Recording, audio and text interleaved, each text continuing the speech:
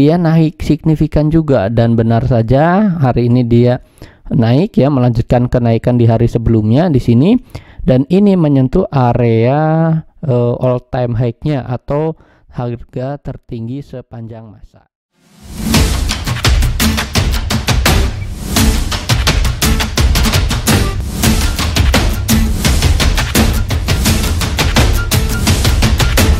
Hai, isi to invest kembali lagi bersama saya Dento dalam Akademik Saham. Pada kesempatan kali ini saya akan mengupdate emiten-emiten kembali teman-teman secara analisis teknikal. Bagi teman-teman yang baru pertama kali hadir, selamat datang dan selamat menonton. Jangan lupa dukung channel ini dengan cara subscribe, like, dan komen serta bagi teman-teman yang memang belum gabung di grup Telegram, silakan gabung untuk mendapatkan informasi terbaru secara real time dan teman-teman juga dapat menikmati fasilitas bot yang telah disediakan. Nah, seperti ini ya contohnya teman-teman. Jadi saya ingin merequest beberapa saham yang menarik. Nah, contohnya ini ada beberapa ya. Jadi ini seperti saham INKP yang hari ini naik tinggi juga ya di perdagangan terakhir dan juga ada beberapa saham lainnya ya. Seluruh saham teman-teman bisa request secara uh, real time ya perdagangannya. Nah, kita akan bahas terlebih dahulu hari ini untuk perdagangan terakhir itu IHSG ini uh, naik ya, ditutup naik ini 0,34% dan untuk closingannya ada di 7177. Nah, sesuai dengan pembahasan beberapa video sebelumnya ya karena memang kita tahu bersama ISG ini sebenarnya masih ada dalam range setway-nya. Nah, teman-teman lihat di sini ada range setway yang memang uh, ini menjadi area range-nya itu di teritori 7200 ya ini sebagai area resisten kuat sebenarnya karena memang beberapa kali sulit ditembus sehingga ini menjadi resisten yang cukup sakral juga dan teman-teman lihat di sini ada area resist uh, bukan resist tapi support ya. Support ini di MA20 nah ini sebenarnya support pendek namun kalaupun ISG nantinya akan ada koreksi ya koreksinya misalkan ke area level 7000-an ya 7000 ini masih cukup wajar ya mengingat karena memang IHSG ini selama bulan Agustus ini sudah naik tinggi. Nah saya bahas di sini untuk IHSG ini dari candle monthly ya atau dari candle bulan. Nah, di sini teman-teman lihat ya, untuk ISG ini dia memang masih e, menguat ya di bulan Agustus. Nah, ini di bulan September ini hari ini e, kan baru dua hari ya transaksi ini baru dua hari jadi memang belum terlalu kelihatan. Nah, nanti di akhir bulan September apakah memang dia e, minus atau tidak. Nah, tetapi kalaupun dia nanti terkoreksi ini cukup wajar karena memang mengingat ISG ini di bulan Agustus dia sudah naik tinggi kalaupun nanti dia seandainya koreksi ke area 7000 sampai ke area 7000 apa 6900-an di area sini ini masih cukup wajar karena memang dia sudah naik tinggi ya jadi harus ada koreksi terlebih dahulu. Mengingat juga ya di bulan September nantinya ya di bulan September maksud saya dia akan ada koreksi karena ada the Fed meeting juga yang nanti akan menaikkan suku bunga. Jadi teman-teman patut ya uh, kita tunggu saja nanti. Kalaupun nanti ada koreksian sebenarnya ini adalah koreksian normal dan kesempatan teman-teman untuk melihat saham-saham yang memang cukup potensial dan punya fundamental bagus untuk masuk untuk investasi ya atau untuk long investing itu bisa saja sebelum nanti di bulan uh, Desember ada window dressing, kemudian ada January effect dan lain sebagainya. Nah, ini untuk IHSG. Jadi uh, secara big picture-nya atau secara garis besarnya seperti itu. Nah, saya akan bahas terlebih dahulu di sini dari saham Big Bang yang memang menggiring atau yang memang menjadi drive IHSG juga salah satunya ini karena e, BCA ini punya apa punya apa kapasitas atau memang dia ini salah satu saham yang memang terbesar ya salah satu penggerak ISG juga bagaimana pergerakan secara teknikal nah kita lihat di sini ISG dia sudah naik tinggi ya ini eh, BCA ini mengikutinya juga sama pergerakannya seperti ISG. Nah, ini juga salah satunya BBCA. Ya ini memang sudah naik tinggi. Nah, kalau teman-teman lihat di sini eh, BCA ini sudah bergerak naik cukup signifikan ya selama bulan Agustus ini sampai di akhir September bahkan ini nanti di apa di awal September ini ini juga sudah naik namun tetap teman-teman hati-hati kalau memang belum punya view investasi saran saya nanti tunggu saja terlebih dahulu adanya koreksian. Sebab apa? Karena memang dia sudah naik tinggi jadi ini tinggal tunggu koreksian saja. Kalau teman-teman memang view-nya mau masuk sekali lagi ya saya uh, bahas ya ini jangan di waktu sekarang ya. Tetapi sifatnya ini memang masih kenaikan jangka pendek saja dengan area resisten di 8300-an karena apa? 8300 ini adalah resisten high-nya yaitu tertingginya dia harga tertingginya dia dia belum bisa ditembus. Jadi kalau nanti September dia koreksi ke area 7900 ya bahkan di area 8000-an di area sini di 7825 ini sesuai dengan support fraktalnya di area sini ini masih cukup wajar. Jadi teman-teman saran saya wait and see terlebih dahulu untuk saham BBCA ya. Nanti di bulan September ini pasti akan ada beberapa koreksian ya salah satunya juga dari Big Bang-nya akan koreksi ya wajar-wajar saja nah untuk eh, BCA support pendeknya saat ini memang di 8000-an ya. Di 8050 di uh, 7900-an di area sini. Jadi nanti ya tunggu saja di area koreksinya. Kalaupun nanti misal seandainya ke area 7600-an, ya ini masih tergolong wajar juga ya. Jadi silakan manfaatkan nanti untuk uh, investasi jangka panjang saat ini masih wait and see terlebih dahulu. Nah, ini untuk BBCA. Berikutnya ada saham BBRI. BBRI juga ini kita lihat ya naik 1,4% ini berbeda dari saham Big Bang dari BCA ya karena BCA dia sudah naik tinggi namun BRI ini baru akan naik ya baru akan naik gimana maksudnya karena memang selama tiga hari ini dia baru bisa naik ya naik secara signifikan dan teman-teman lihat di sini e, dari tiga hari berturut-turut ini sudah naik ya cukup signifikan dan ini mendekati area level resisten pendek. Level resisten pendek ada di 4470. Nah, kalau teman-teman catat di area sini ini sebagai area resist fraktal juga ya. Ini saya jelaskan fraktal ini kan memang bisa menjadi area resist dan area supportnya juga. Jadi di 4470 ini sebagai uh, resist pendek kalau dia breakout ya sekali lagi kalau dia breakout dia berpotensi masih bisa naik ke 4530-an ini diambil dari fraktal sebelumnya yang ada di area sini atau resisten sebelumnya juga ya ini untuk BRI supportnya gimana? Supportnya ada di 4200an sebenarnya karena memang eh, teman-teman yang sudah naik ini boleh hot layak hot. Kalaupun esok hari ya misalkan di minggu depan ada koreksian ya koreksiannya wajar. Nanti dia mungkin akan berpotensi terkoreksi terlebih dahulu ya. Ini membentuk koreksiannya. Nanti seperti ini dia akan turun ke bawah ya di area sini. Nanti dia bertahan atau tidak.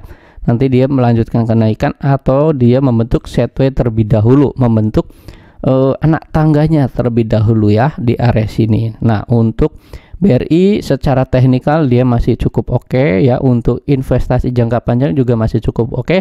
Kalaupun teman-teman baru mengambil selama tiga hari di sini, ini boleh layak hold terlebih dahulu. Nanti kalaupun ada fluktuasi, teman-teman boleh hold terlebih dahulu ya. Ini untuk saham BRI. Nah kemudian ada saham Big Bang lainnya yaitu ada BBNI. BBNI juga sama, ini sudah naik juga berturut-turut selama tiga hari berturut-turut bahkan empat hari ini meskipun di hari uh, sebelumnya di sini ada uh, merah di sini tapi dia memang masih terjaga ya membentuk high-nya kembali.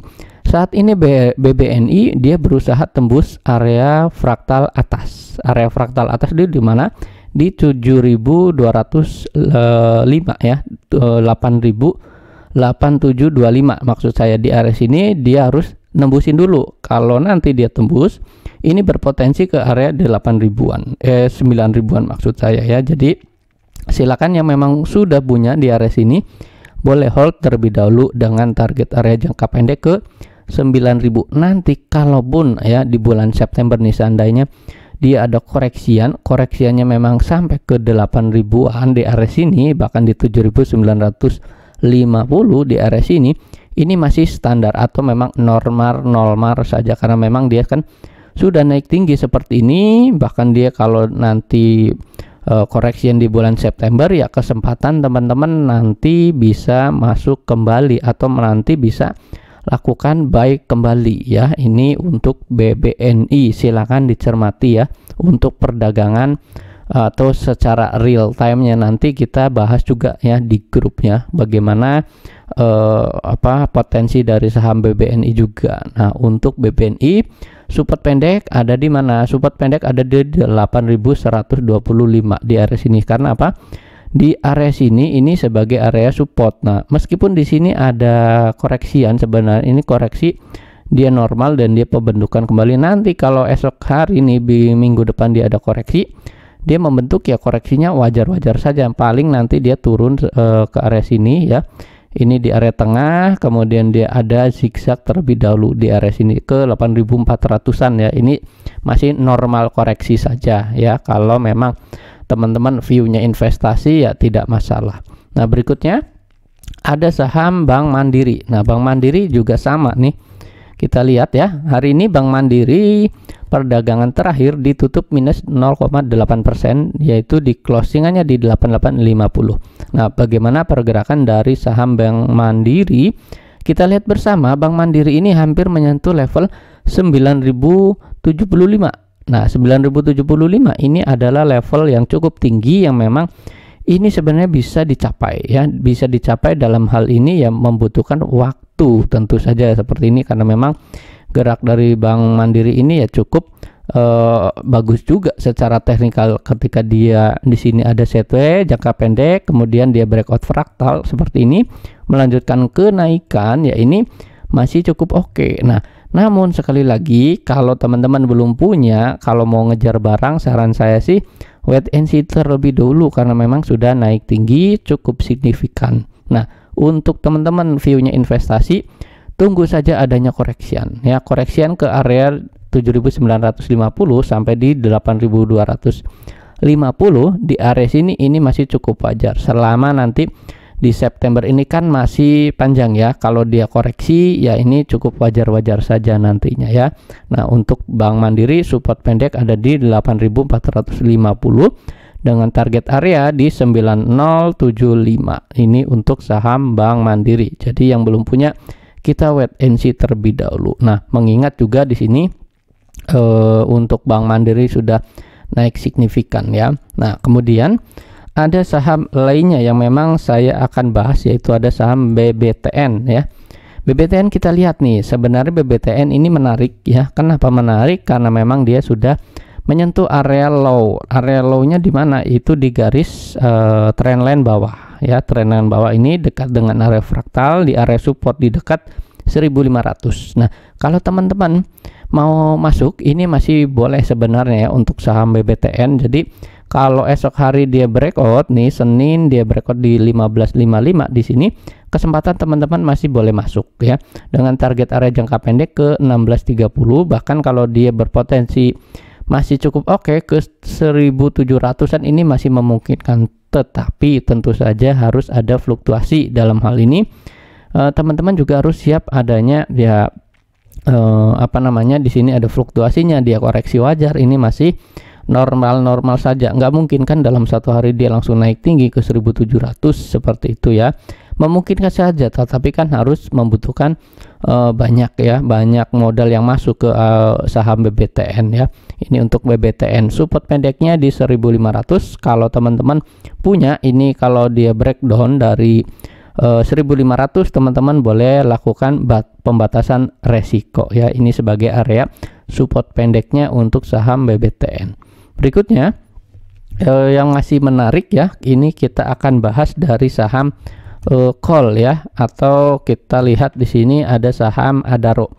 Adaro ini sesuai dengan pembahasan di video sebelumnya ini dia naik signifikan juga dan benar saja hari ini dia naik ya melanjutkan kenaikan di hari sebelumnya di sini dan ini menyentuh area uh, all time high-nya atau harga tertinggi sepanjang masa. Nah, kalau teman-teman lihat di sini Adaro ini akan ke mana arahnya. Nah, kalau kita lihat di sini kan dia menyentuh level all time high. Jadi kita ukurannya di sini pakai Fibonacci. Nah, dilihat di sini untuk uh, area resisten selanjutnya dari Fibonacci di sini adalah di area 3993 atau kita genapin saja di area 4000-an ya.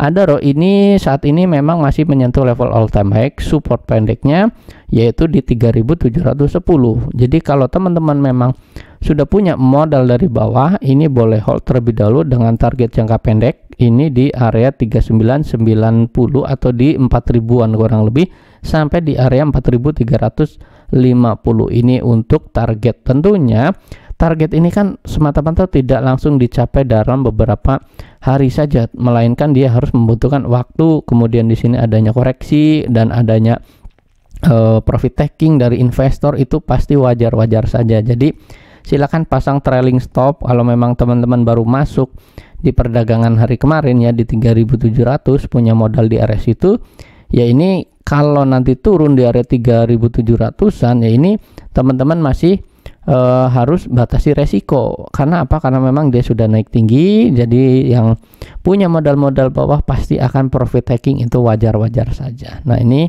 untuk saham Adaro. Silakan cermati ya area supportnya di 3710 nah untuk area support berikutnya di 3485 nah ini boleh batasi resiko tuh di area situ ya. Kalau teman-teman nggak siap dengan fluktuasinya misalkan dia sudah naik tinggi teman-teman mau WNS dulu nggak masalah sih sebenarnya. Nah ini untuk saham Adaro. Silakan sesuaikan dengan strateginya seperti apa. Nah berikutnya kita akan lihat ya untuk saham lainnya.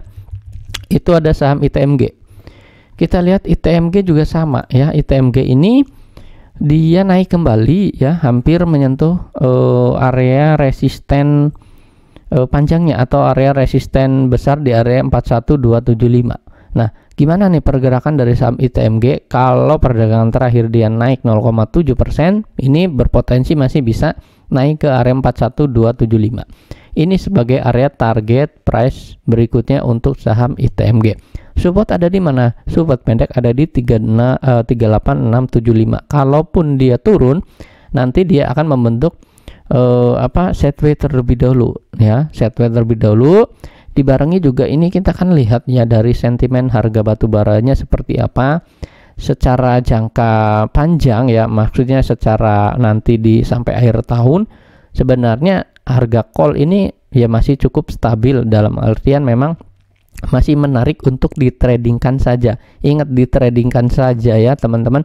Kita manfaatkan tren untuk jangka uh, pendek atau memang mengikuti tren lainnya saja. Kalau memang dia naik ya kita ikutin saja trennya. Kalaupun ada penurunan teman-teman ya harus batasi resiko. Seperti itu strateginya untuk tren following ya. Nah untuk support ini di 36 38675 ya. Ingat-ingat di sini catat dan area pendeknya di 41275 kalau dia breakout dari sini berpotensi ke area 44 ribuan. Ini sebagai area resisten untuk garis trendline dari saham ITMG. Silahkan catat untuk area support resistennya dan ini juga teman-teman hati-hati juga ya ini volumenya kan setelah dibuang ini dia belum ada volume yang cukup tinggi seperti ini dan RSI-nya juga di sini masih 65 ya sebenarnya masih menarik untuk bisa lanjut naik sebenarnya tetapi ya kita harus uh, lihat ya batas bawah batas atasnya seperti apa uh, saham ITMG ini cocoknya untuk trading trading trading saja menurut saya ya untuk uh, mau invest jangka panjang ya ini harus kita lihat kembali secara historical seperti apa karena memang di tahun 2021 sampai 2020 ya 2021 sampai 2022 sampai akhir tahun ini ini masih cukup bagus tuh untuk saham-saham dari batu bara sendiri ya. Nah, ini untuk saham ITMG. Berikutnya itu ada saham INDY. Nah, kita lihat di sini untuk saham Indi atau Indika Energi di sini pergerakannya gimana? Hari terakhir naik 1,0%. Nah, setelah dia naik seperti ini, teman-teman lihat ya. E, kalau belum punya, saran saya kita wait and see. Kenapa wait and see? Karena memang kan ini sudah naik, kemudian di sini ada ekor, nah ekor atas panjang seperti ini. Tandanya di sini memang ada yang profit taking. Nah, kalau saran saya tunggu ya wait and see. Uh, tembus di area fraktal atas di sini 2980 teman-teman boleh lakukan buy atau boleh teman-teman bisa untuk uh, buy di area breakout ya breakout fraktal di sini. Teman-teman boleh tuh naik ya atau boleh teman-teman entry lakukan. Nah dengan target jangka pendek di area 3150 ya. Nah kalau dia gagal tembus di area 2980 ini berpotensi akan sideways seperti ini ya. Ini untuk uh, jangka pendeknya akan seperti ini. Kalau dia gagal breakout tentunya. Nah support pendek di area 2820 silakan dicatat untuk saham IND ya jadi strateginya buy if breakout atau buy on breakout di area sini di breakoutannya di 2980 nah ini untuk saham Indi. Berikutnya saham yang lainnya ya saya akan bahas dari saham PTBA PTBA hari ini naik 0,5% ditutup di area 4260 pergerakan PTBA ini dalam jangka pendek memang dia masih setway. Nah, terlihat di sini meskipun setway dia masih tertahan di area MA20-nya selama masih bertahan di MA20 ini bisa menjadi patokan ya. MA20 itu di 4225 ya atau 4226 di area sini. Ini sebagai area support jangka pendek. Nah, supportnya lainnya itu ada di 4150. Kalau teman-teman punya modal atas atau modal bawah ya, ini perhatikan area range setway-nya seperti ini ya. Kalau dia bertahan masih bertahan dalam jangka pendek, dia breakout di 4340 berpotensi masih bisa melanjutkan kenaikan tentunya ini kita lihat di area resisten uh, tren di sini ya resisten apa high sebelumnya ini 4510 ya ini untuk target jangka pendek nah yang penting dia breakout dulu nih sebenarnya dari 43 40 nah selama dia belum breakout atau dia belum bisa lanjut naik dia akan bergerak secara range setway di teritori 4150 sampai di 4340-an di area sini ya. Ingat untuk uh, saham PTBA juga sudah naik tinggi ya. Ini sebenarnya masih cukup menarik tetapi kita harus lihat peluangnya ada di mana ya. Uh, titik entry, titik supportnya ada di mana. Kalaupun esok hari nih misalkan dia bertahan di area MA20, teman-teman mau spekulatif buy boleh saja tetapi mengingat di sini karena memang sudah naik tinggi, di sini belum ada koreksi yang memang cukup dalam juga ya. Ini teman-teman ya silakan saja kalau memang nanti e, mau tunggu saja breakoutannya di 4340-an. Nah, kalau saya garis e, di sini garis tarik garis ini ya di area sini. Nah, ini adalah e, apa namanya garis trendline di area sini. Jadi kalau dia bertahan tetap di area sini selama belum jebol ke bawah, ini teman-teman masih boleh hold kalau memang punya modal bawah. Kalau memang modal atas ya perhatikan di area sini ya, di area eh, support-support di area sininya. Nah, ini untuk saham PTBA. Berikutnya itu ada saham Doit. Nah, saham Doit kita lihat ya. Untuk Doit, nah saya bahas di sini. Doit ini hari terakhir menarik naik di 94 ya uh, maksud saya 9,4% closingannya ada di 4180 nah gimana pergerakan saham doit? Nah ini setelah dia breakout dari garis support ya uh, sorry garis resisten maksud saya ini di area fraktal dan di sini ada Darvas box juga ya teman-teman perhatikan di sini. Ini teman-teman lihat untuk saham doit ini berpotensi masih bisa melanjutkan kenaikan. Nah, supportnya ada di mana? Kalau saya gunakan support kembali ya, ini saya tarik garis support barunya ya, support barunya itu ada di area 4112 ya. 4112 teman-teman boleh nih jadikan support atau naikkan supportnya yang tadinya ada di 380 karena kan dia sudah naik tinggi. Nah, kalau dia memang masih bertahan di 4112 ya ini potensi bisa ke 440 ya. Setelah dia memang jebol dari tren di sini atau dia memang uh, bisa berhasil break dari trend line ini berpotensi ke 460 sampai 464 ya. Ini sebagai area target untuk saham doi tentunya dia akan ada fluktuasi. Selama dia kuat bertahan di area 4112 ini masih bisa melanjutkan kenaikan. Nah hari ini juga kan perdagangan terakhir di sini volumenya cukup tinggi juga ya. Ini untuk saham uh, Doit ya. Silakan cermati support dan resistennya untuk area-area saham uh, Doit ya. Nah, ini untuk saham Doit. Berikutnya kita akan lihat dari saham lainnya ya, itu ada saham ESA. ESA hari ini pergerakan naik ya 2,8% sempat di sini menyentuh area level e, menjadi support itu di area 1090.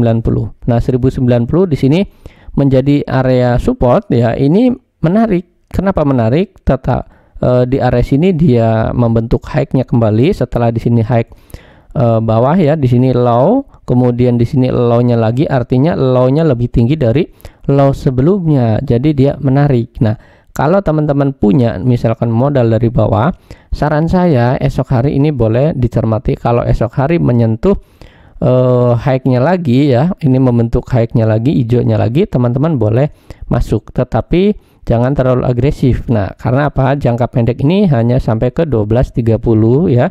Di 1200 sampai di 1230-an di area sini. Namun kalau memang dia gagal breakout ya ini ber, uh, berpotensi dia akan turun kembali. Tetapi seandainya nih kalau dia breakout dari garis fraktal di sini atau dari garis Darvas di sini ya, garis tren di sini, ini akan berpotensi lanjut naik. Nah, ini jadi strateginya teman-teman esok hari kalau belum punya ini boleh teman-teman uh, wait and see dan WL aja esok hari bisa masuk kalau dia ada volume juga. Nah, kalau memang dia koreksi koreksinya ke area support di 1035 di area sini ini sebagai area uh, support normalnya atau support untuk uh, saham ESA ya silakan catat supportnya strateginya mau seperti apa gunakan strategi uh, seperti itu ya esok hari kita lihat ada volume hijau atau tidak nah yang penting teman-teman tahu support bawahnya ada di mana yaitu di 1035 di area sini nah ini untuk saham ESA Berikutnya, yang menarik lainnya yang memang harus dilihat yaitu ada saham Pikim dan INKP ya. Saya akan bahas pulp and paper di sini. Nah, teman-teman lihat di sini itu ada saham TKIM ya. TKIM ini berhasil naik tinggi juga ya. Setelah dia breakout dari garis trend di sini, kemudian dia membentuk high-nya lagi dan hari ini di perdagangan terakhir dia naik tinggi disertai dengan volume transaksi yang cukup tinggi. Nah, kenapa begitu? Karena memang laporan keuangannya dari TKIM dan INKP itu tinggi ya, labanya itu tinggi di uh, semester ini, di semester satu ini ya. Jadi ini teman-teman boleh nih untuk trading kan. Nah, kalaupun punya modal bawah di area sini, misalkan dia punya modal bawah, teman-teman ini masih boleh hold dengan target area jangka pendek di 7275 ya.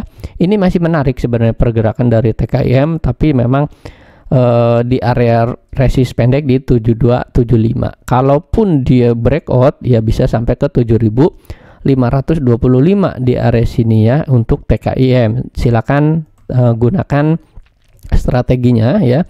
Supportnya di mana? Supportnya ya memang di 6725 ya. Jadi ini uh, untuk teman-teman yang belum masuk ya saran saya sih wait and see terlebih dahulu. Tunggu adanya koreksian ya. Kalau memang ini teman-teman mau ngejar ya sayang sekali nanti ngejar ya resistennya itu sampai di 72 75 di area sini jadi masih uh, apa rewardnya ini hanya sedikit ya. Kecuali kalau nanti dia ada koreksian teman-teman bisa nih lihat kembali. Nah, volume tinggi seperti ini biasanya dia akan bisa melanjutkan kenaikan ya untuk saham TKIM ini masih boleh di hold. Tinggal hold saja lah menurut saya ya untuk TKIM. Nah, ini untuk TKIM. Berikutnya ini INKP-nya. Nah, kalau INKP-nya juga sama ini kan terdongkrak naik karena laporan keuangannya memang cukup bagus ya. Nah, untuk INKP gimana pergerakannya? INKP ini volume transaksi juga tinggi ya, tidak kalah dari TKIM ini supportnya ada di 8.200 ya untuk uh, eh, INKP ini kalau teman-teman lihat ini berpotensi akan bisa menyentuh level ke 9.000 untuk jangka pendek ya. Di area 9.000 ini teman-teman boleh cermati kalau dia breakout ini uh, dari tren di sini dia berpotensi ke 9200-an di area sini ya. Ini diambil dari mana? Diambil dari high ya di area sini. Jadi silakan ya dicermati ya. Untuk yang punya barang ya, yang belum punya saran saya wait and see. Yang sudah punya boleh di hold terlebih dahulu dan ingat di area 9000-an ini waspada adanya profit taking ya. Kalau nanti ada profit taking ya, misalkan ada ekor panjangnya juga teman-teman boleh taking profit ya, boleh TP dulu saja. Nah, kalau sebenarnya dia breakout ya ke 9275 di area sini. Nah, ini untuk saham TKIM ya. Jangan terlalu agresif yang belum punya, jangan terlalu ngejar harga. Ini sebenarnya tinggal profit taking saja nih untuk yang memang punya barang. Nah, ini untuk saham INKP.